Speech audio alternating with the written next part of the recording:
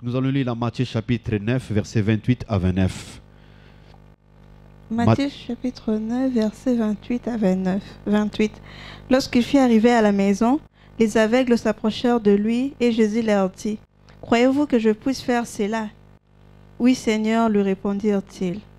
29. Alors il leur toucha leurs, alors il leur toucha leurs yeux en disant, Qu'il vous soit fait selon votre foi. Amen. Qu'il vous soit fait selon votre foi. Vous pouvez acclamer et prendre nos places et acclamer pour la gloire de Dieu.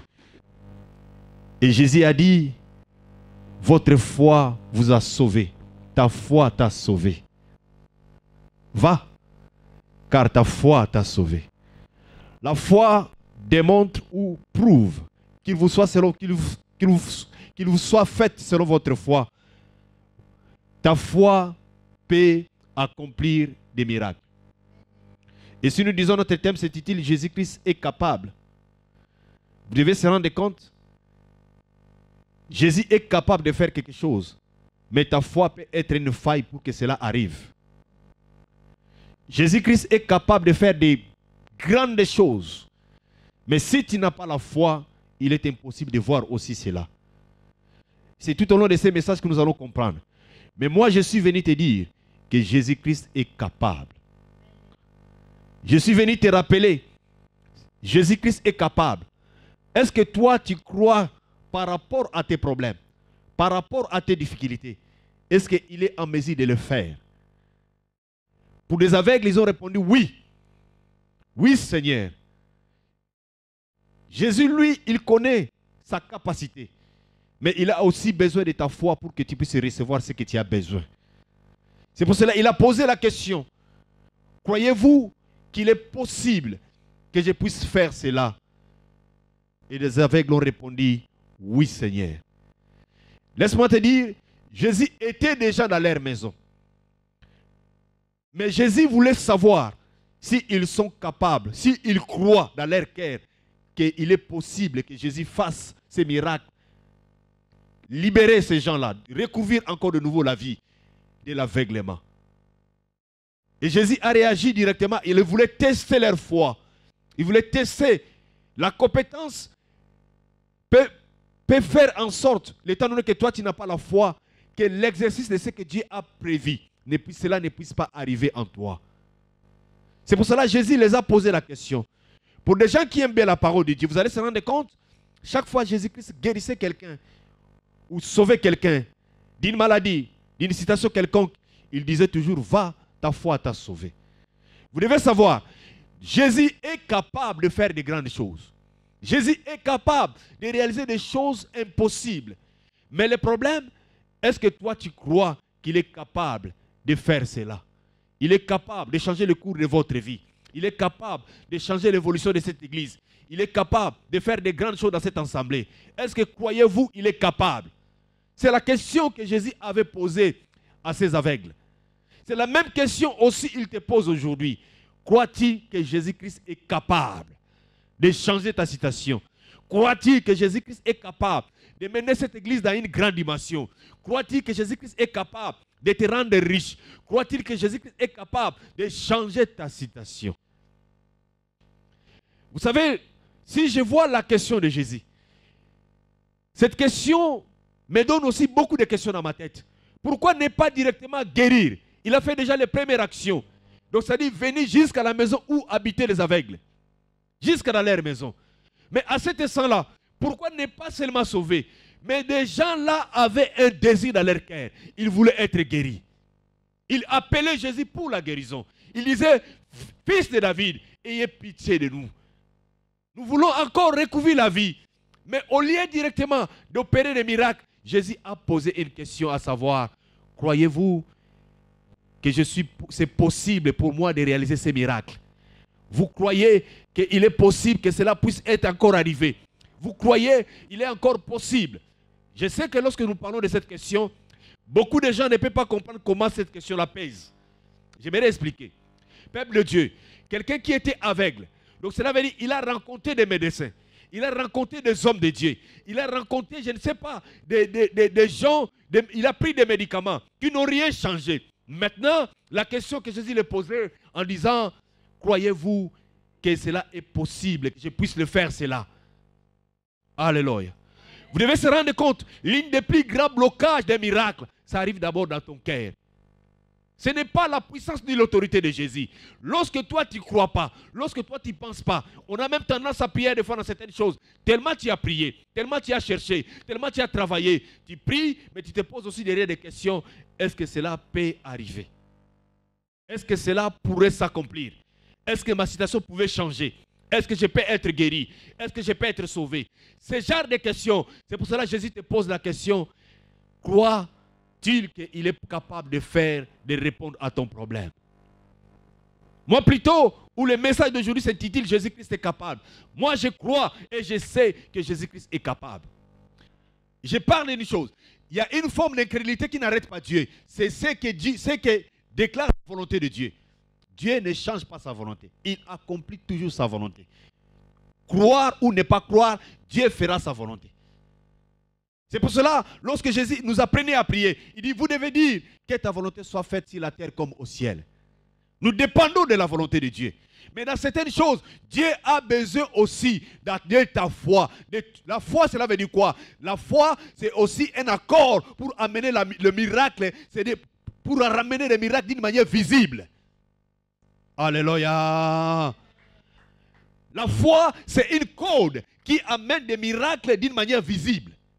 Je ne sais pas, quelqu'un comprend. Je désire un miracle. Je viens auprès de Jésus. Je sais qu'avec lui, il est capable. Mais je peux avoir des doutes. Des doutes peuvent empêcher cette corde-là de déclencher mon miracle. Des doutes peuvent faire en sorte qu'il y a quelque chose qui doit arriver. Mais moi, plutôt, de mon côté, je ne crois pas. Parce que Jésus savait, il était capable de le faire. Il pose encore une autre question. Croyez-vous, vous qui êtes avec durant des années, vous être avec des naissances, que quelque chose pouvait changer dans votre vie? Alléluia. Alléluia. Et pour mieux comprendre cette, question, vous devez se rendre compte, l'incrédulité se manifeste aussi lorsque quelque chose dure dans votre vie. Tellement tu t'es fait soigner, tellement tu as consulté, cela augmente aussi les, doutes en toi. Des doutes, cela veut dire, tu, dis, tu te poses des questions, est-ce que cela peut-il arriver? Comment cela peut arriver? Peuple de Dieu, aujourd'hui je parle avec des hommes de foi. Aujourd'hui, je parle avec des femmes de foi. Des femmes de foi, c'est-à-dire des femmes qui peuvent accepter d'avoir une grossesse sans mari. Des femmes de foi, c'est des gens qui peuvent accepter que Jésus est capable de tout faire. Des femmes de foi ne voient pas l'impossible devant leur Dieu. Des hommes de foi ne voient pas que Dieu peut être limité. Même s'ils ne voient rien, un homme de foi croit toujours que mon Dieu est capable. Mon Dieu peut le faire. Si moi je ne peux pas, lui il le pourra. Alléluia. Les aveugles ont compris des choses. Et ce que j'aime dans cette lecture, les aveugles ont appelé Jésus-Christ dans un nom qui était différent. Ils ont dit, fils de David, aie pitié de moi. Un fils de David, c'est un roi qui hérite d'un royaume de Dieu. Un fils de David, c'est quelqu'un qui a l'autorité de changer quelque chose. Il peut agir avec plusieurs autorités. Lorsque vous demandez à, vous demandez à un roi il est capable de te donner des solutions d'une manière charnelle. Lorsque tu te confies à un roi, il est capable de t'enlever dans la pauvreté pour te donner la recherche. Lorsque tu, demandes une, solution auprès d'un roi, il est capable de prendre une partie des biens, de te donner pour changer le cours de votre vie. Peuple de Dieu, nous devons savoir une chose. Ton Dieu est capable. Jésus-Christ est capable de faire de grandes choses. C'est pour cela, quelque part, la Bible déclare tout est possible à celui qui croit, car rien n'est possible à Dieu. Comprenez bien cette lecture. La Bible dit d'abord, tout est possible à celui qui croit, car l'impossibilité vient après. Parce que si tu ne crois pas, tu ne peux pas voir de grandes choses. Les grandes barrières commencent d'abord par ta foi. C'est pour cela, Jésus a dit, t'ai-je pas dit, si tu crois, tu verras la gloire de Dieu? Peuple de Dieu, Jésus est capable. Ne crois jamais en retard. Croyez toujours. Tant que tu n'as pas vu, continue à croire jusqu'à ce que tu verras la grâce de Dieu. Jésus-Christ est capable, du peuple de Dieu. Nous devons se rendre compte. Il a dit, t'ai-je pas dit, si tu crois, tu verras la gloire de Dieu. La gloire de Dieu peut changer beaucoup de choses dans votre vie. Si nous sommes devant notre Dieu, parce que nous avons besoin de gloire éternelle. Nous avons besoin de celui qui a vaincu la vie, qui a vaincu la mort, de prouver sa gloire en nous. Mais nous, de notre côté, nous avons besoin de faire l'exercice de la foi. Croyez-vous que c'est possible? Parce que quand est-ce que le doute vient? Quand tu travailles, tu fais quelque chose, tu attends directement avoir un résultat, n'est-ce pas? Quand on a fait quelque chose, on veut directement un résultat. Le fait d'attendre un résultat, à force d'attendre, après le temps, cela peut amener des doutes. J'ai travaillé, j'ai fait des choses, j'ai fait telle ou telle chose, mais quelque part, j'aimerais avoir aussi un résultat. Croyez-vous que Jésus-Christ est capable de faire quelque chose de nouveau dans votre vie? Croyez-nous, nous croyons, il est possible pour lui de faire des grandes choses dans cette église. C'est-à-dire, c'est par là viendra aussi ton miracle. Et Jésus dira, il te dira, il va nous dire qu'il nous soit fait selon notre foi. C'est pour cela que j'aime des hommes de foi. J'aime des femmes de foi. J'aime l'église de foi. J'aime l'église de foi. L'église, quand il ne voit pas, il ne croit. Même s'il y a un échec, il dit je crois. Même s'il ne voit rien, il dit je crois toujours. Je sais qu'un jour, il agira. Je sais à un moment donné, il va faire. Je sais à un moment donné, il agira. Peuple de Dieu, ton Dieu est capable. Vous savez, lorsque nous parlons de la capacité de Jésus, cela veut dire ces hommes-là, quand Jésus les a posé les questions, si c'était vous et moi, on devait donner des détails. Et pour ma santé, vous savez, j'ai consulté 50 médecins. Ici en Europe, j'ai vu 345 médecins. Ici, moi, vous me voyez, les spécialistes les plus grands de France, je l'ai déjà vu. Mais ces gens-là ont dit, je sais, et nous savons que Jésus-Christ, lui, il est capable de faire des choses au-delà des pensées des hommes, au-delà de la force des hommes, au-delà des capacités des hommes. Il est capable de réaliser ce que l'homme ne peut pas le faire. Si tu ne comprends pas la capacité de Dieu, de ton sauveur, de ton Seigneur, tu peux pleurer. Tu peux commencer à pleurer là où il ne fallait pas pleurer.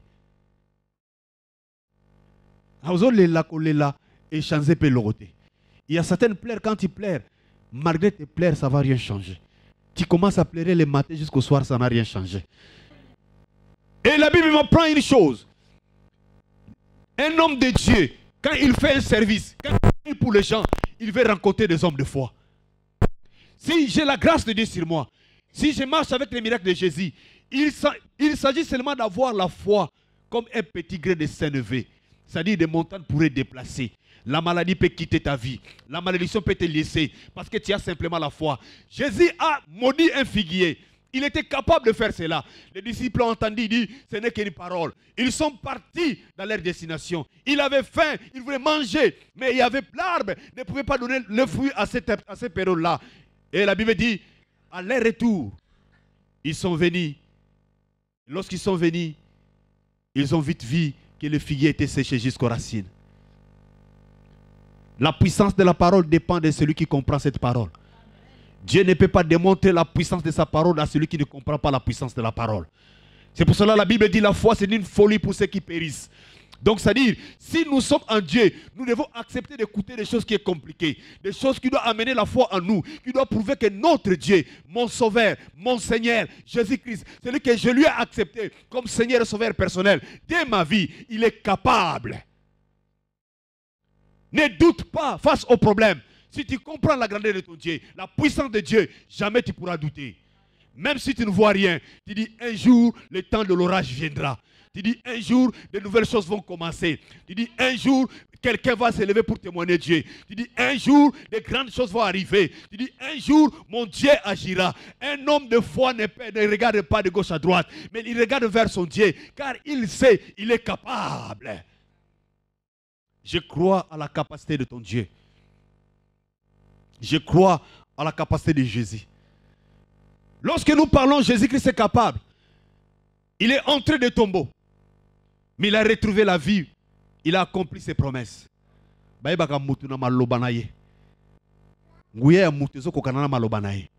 Vous savez, la Bible m'apprend, lorsqu'il disait aux, aux disciples, que l'un de vous va me sacrifier, tout le monde regardait d'une manière, chacun avait son avis. Et Pierre disait, écoutez, on va se défendre. Si cela arrive, on va se défendre. On va tout faire pour se défendre.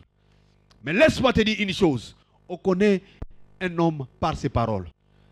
On peut être trompé par des prophéties, mais Dieu ne trompe jamais. Lorsque Jésus dit un mot, prenez seulement le temps, gardez cette position. Un jour, ça sera ta force. C'est par ces mots-là, ça va changer des choses. Par ces termes-là, ça va renouveler des choses nouvelles. Croyez seulement en lui. Il peut entrer des gens, des gens dans ta maison. Mais le problème, tu n'as pas encore la foi. Le problème, tu ne crois pas qu'il est capable de faire cela.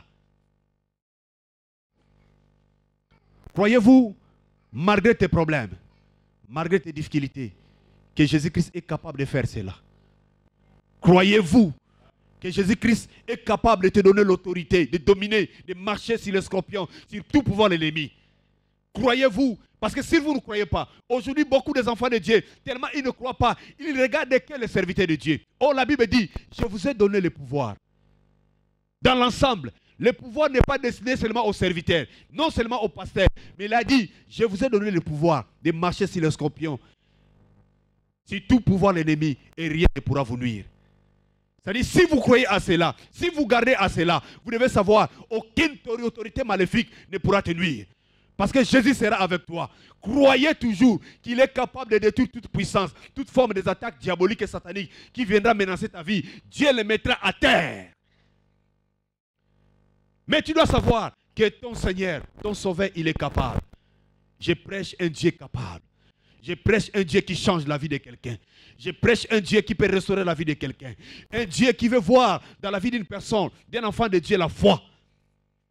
Vous savez que la foi, ça se voit dans tes paroles, dans tes actes. Ça démontre aussi la foi. C'est-à-dire, si on vient ici à l'église, si tu n'es pas une personne de foi, tu trouves qu'il y a une seule personne Demain, toi aussi, tu diras, pour venir à l'église, j'aimerais trouver mille personnes avant de venir. Peuple de Dieu, un homme de foi n'agit pas comme ça. Celui qui croit que Jésus est capable n'agit pas comme ça. Ton Dieu peut remplir la terre avec des personnes. Oh, Nazolo Banamoto. Nzambo yondimela, pesa kondima, parce qu'il est capable de remplir la terre avec des personnes. C'est pour cela qu'il a dit, soyez féconds, multipliez-vous et remplissez la terre. Ça prouve sa capacité. Laisse-moi t'apprendre. La Bible dit, nous disons que Jésus-Christ est capable. Vous devez savoir, au commencement, la terre n'avait pas de forme. Dans Jean chapitre 1, la Bible dit, rien de ce qui a été créé n'a été créé sans elle.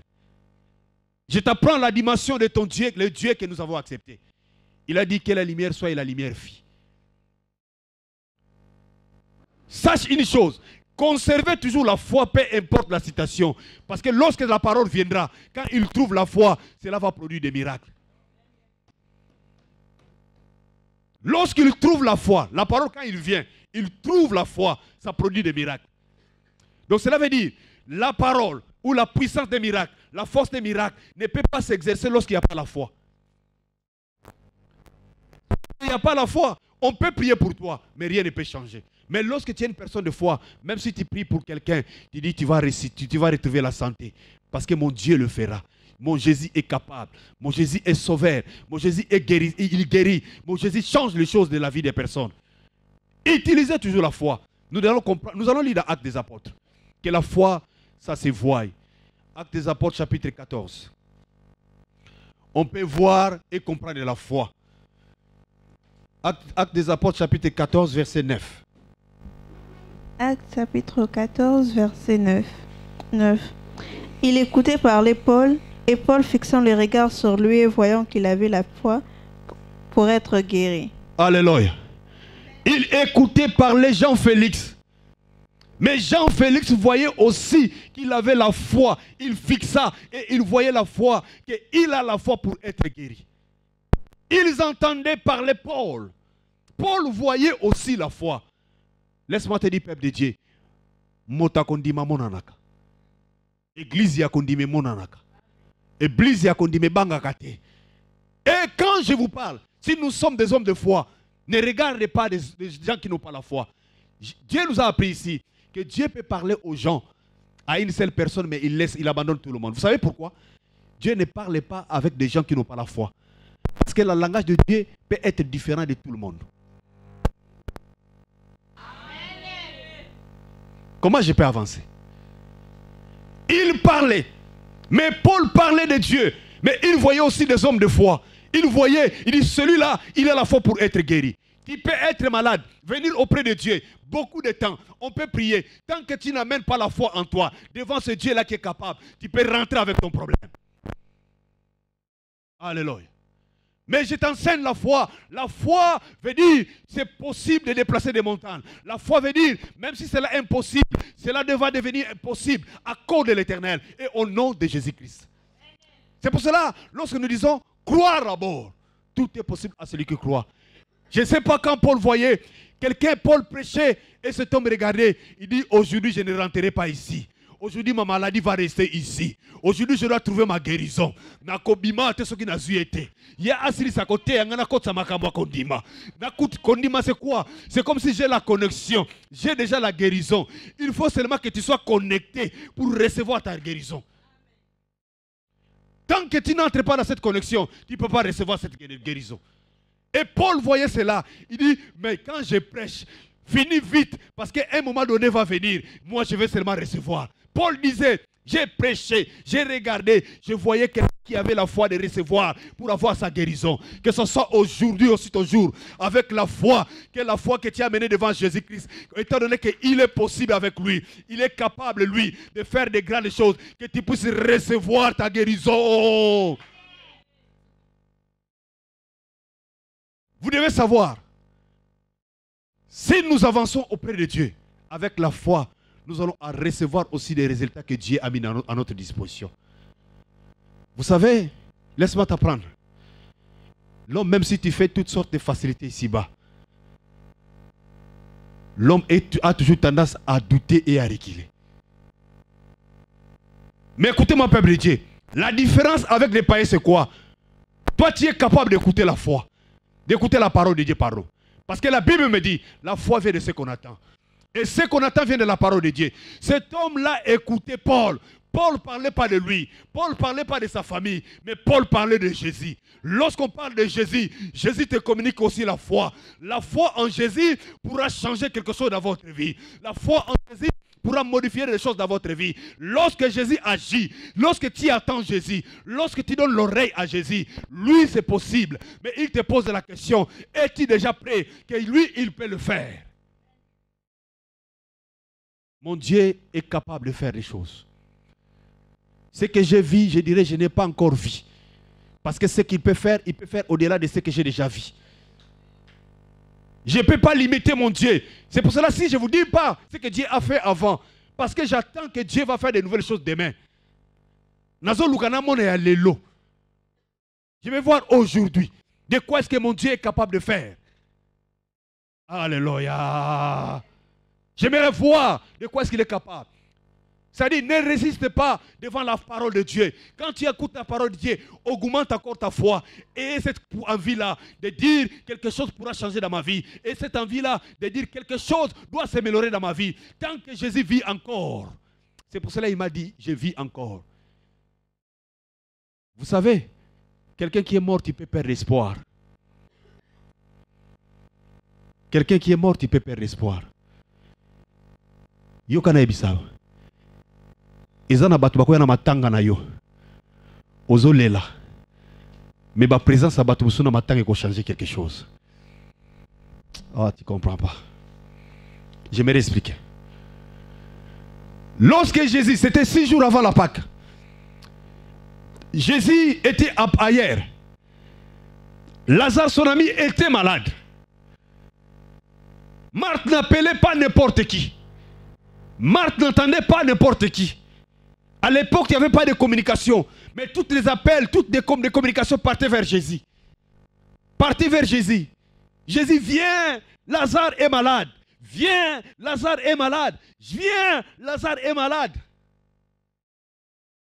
Parce que Marthe savait, si Jésus était là, Lazare ne peut pas mourir. Ah, nazolo bana mutango azati.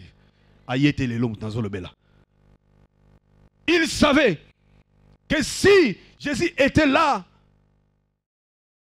Lazare ne peut pas mourir. Appelez toujours Jésus. Mais le problème, Jésus ne venait pas. Lazare était mort et enterré. Laisse-moi t'apprendre, peuple de Dieu. Si tu ne comprends pas combien Jésus-Christ est capable dans votre vie, Tu peux pleurer, sortir tes larmes à travers des gens qui vont rien changer dans votre vie. Tu pleures, mais ça ne change rien.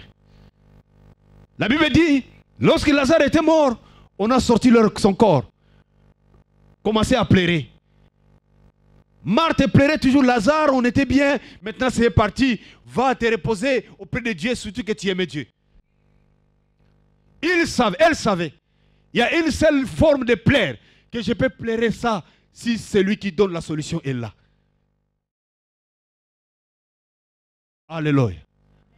Cela veut dire, si tu crois à la capacité de Dieu, cela veut dire, même si on te dit, ton problème est déjà fini, moi je te dirai au nom de Jésus, ton problème n'est pas fini. Ton problème vient juste de commencer. Ton histoire vient juste de commencer. Ce n'est pas la fin. Mais lorsque tu verras la puissance de Dieu, c'est là où tu diras que c'est la fin. Quelqu'un ne comprend pas toujours. J'avance toujours. Et la Bible m'apprend une chose. Lazare était enterré. Premier jour, deuxième jour, troisième jour, et Jésus était venu. C'est là où Marthe a commencé à pleurer. Il dit, Maître, si tu étais là, Lazare ne pouvait pas mourir. Te plaire, tu dois pleurer devant Jésus-Christ. Quand tu vois il y a un ça ne va pas, ne pleure pas auprès des hommes. Ne rencontre pas tes problèmes dans les hommes, mais rencontre plutôt ton problème auprès de celui qui est capable. Alléluia. Rencontre plutôt ton problème à celui qui est capable. Et celui qui est capable, c'est Jésus de Nazareth. Alléluia. Je croyais quelqu'un qui pouvait acclamer pour la gloire de Dieu. Et il a compris une chose. Et ce qu'il a compris, cela veut dire, il a compris que si cet homme était là, Lazare ne pouvait pas mourir. Il disait, Maître, tu es venu bien sûr, mais plutôt tu es venu en retard. Si tu étais là avant, Lazare ne pouvait pas mourir. Voilà là où tu peux pleurer. Tes pleurs ne peuvent rien changer.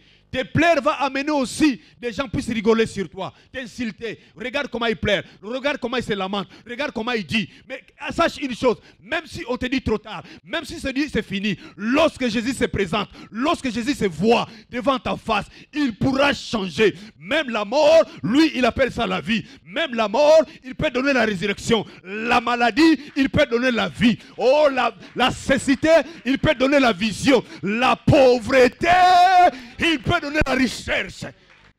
Sachez seulement où je dois pleurer. Où est-ce que je peux pleurer? Il y a des endroits pour pleurer, mais il y a aussi des endroits pour ne pas pleurer. Ne parlez pas de souffrance aux autres. Gardez la foi en disant qu'un jour, mon Rédempteur va agir. Mon Dieu va agir. Mon Dieu est capable. Mon Jésus est capable. Il peut changer des choses. Je ne peux pas dire des choses aux gens. Je ne peux pas parler aux païens. Parce que j'ai un Dieu. Zambe wanaka musaka. Zambe nanga salaka. Bole la matanga botikate. Mais ce qui a bimia makambo ko changer. Ata mutazo pola ya bimisaka tu sortiras de ce tombeau parce que de nouvelles choses vont commencer et c'est là au nom de Jésus-Christ.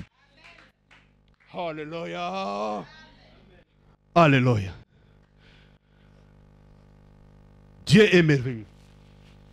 Il a accompli tellement de grandes choses.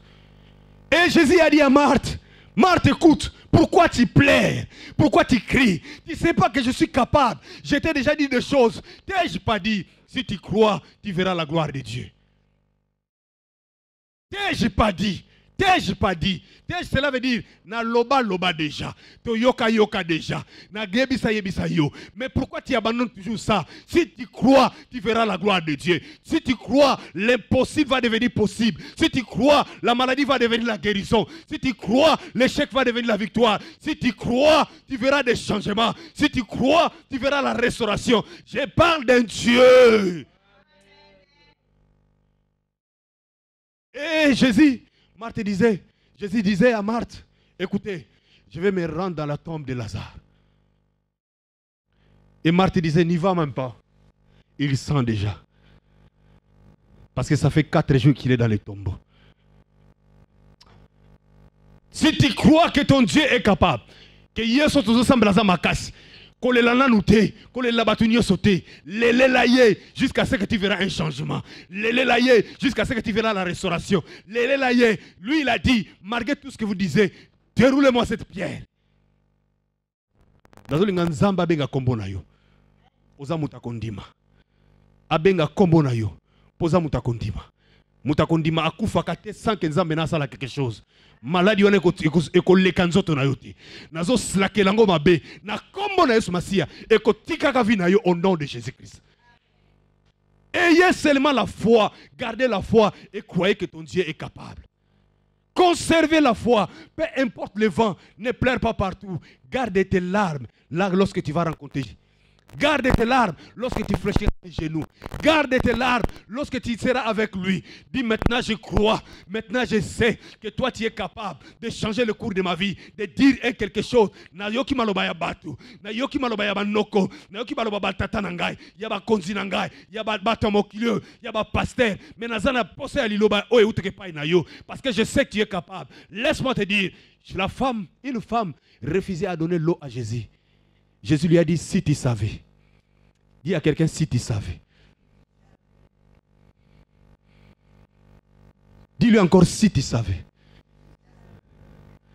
Parce que si tu ne sais pas que Jésus est capable, tu peux pleurer encore. Si tu ne savais pas, si tu ne sais pas, tu peux te lamenter encore. Si tu savais, L'armée des Gédéons, lorsque la sélection de la foi, Dieu a dit, il y avait des milliers de soldats. La victoire ne repose pas par des milliers, mais par des hommes de foi. Celui qui va boire comme un chien, celui qui, qui, va- qui comprend que Dieu est capable.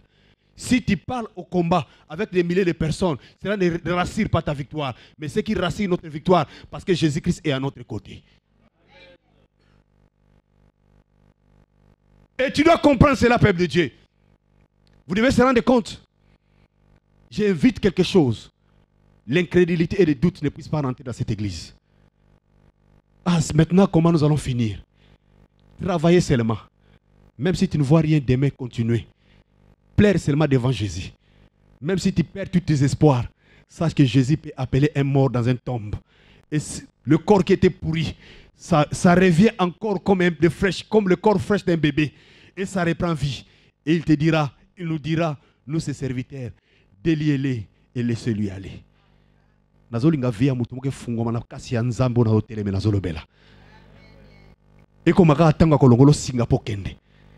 Parce que celui qui comprend pas la parole il ne peut pas avoir la foi pour recevoir ce qu'il a besoin mais celui qui reçoit la parole il est capable d'avoir la foi de savoir que mon Dieu est capable c'est pour cela que je te dis, peuple, je te préviens, ne regarde pas les autres, ne regarde pas les gens qui n'ont pas de foi. Regardez plutôt ton Dieu. Parce que les gens te diront, écoutez Marthe, tu as trop pleuré, maintenant comprenez seulement. Yesu ngo pozo benga yakate, azana si répondre. Ako itika la gane ko yate. Ton problème tu n'auras pas une réponse, il viendra pas. Laissez seulement on va l'enterrer. Oh nakini balobaka, bokundanga na ye. Ta ba koma na kende kaka, kende malamu hein. To kutana kaka.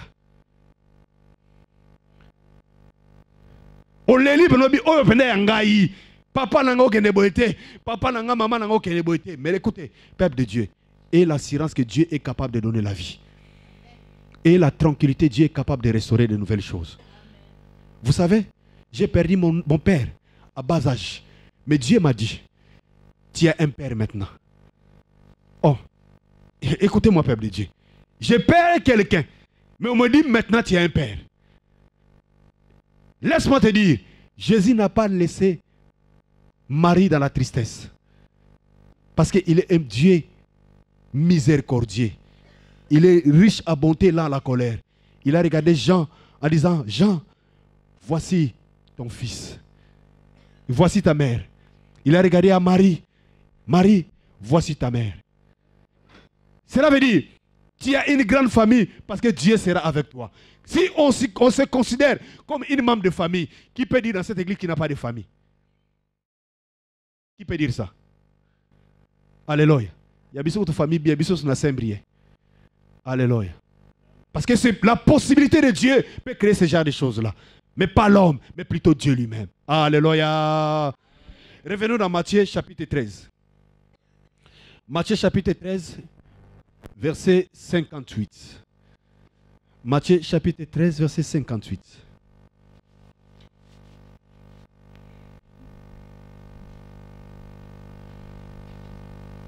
Matthieu chapitre 13, verset 58.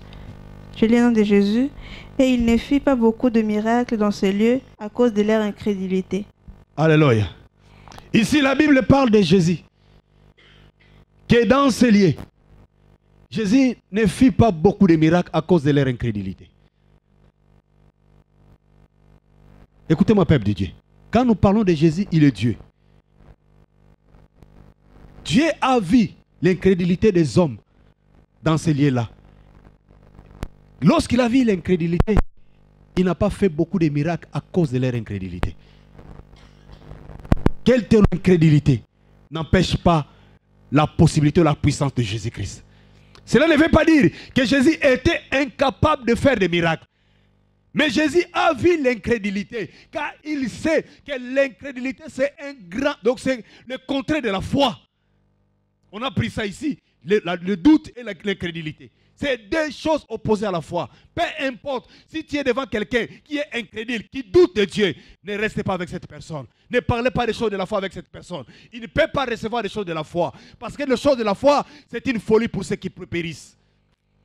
Et Jésus comprenait. Il dit dans ce lieu, je ne ferai pas beaucoup de miracles. Il n'a pas fait à cause de leur incrédulité.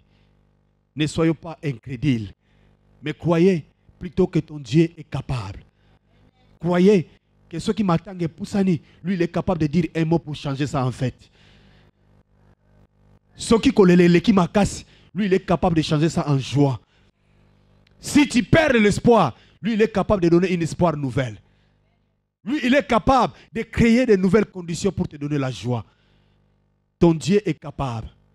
Ce soir, qu'il dise un mot pour ta vie. Comme il a dit aux créations, à la création, que la lumière soit. Et la Bible dit que la lumière fit. La vie d'une personne qui n'a pas la lumière, tu as besoin de la parole de Dieu, qu'il déclare un mot par sa capacité. Parce que la Bible me dit, ton Dieu, mon Dieu, notre Dieu, appelle en existence ce qui n'existait pas.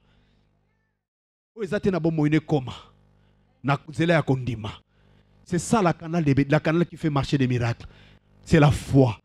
La foi va prouver que Jésus-Christ est capable de faire de grandes choses dans votre vie. La foi va prouver que Jésus-Christ est capable de réaliser de nouvelles choses. Et Dieu te bénira. Ne pleure pas. Sache, le dernier mot viendra de l'éternel.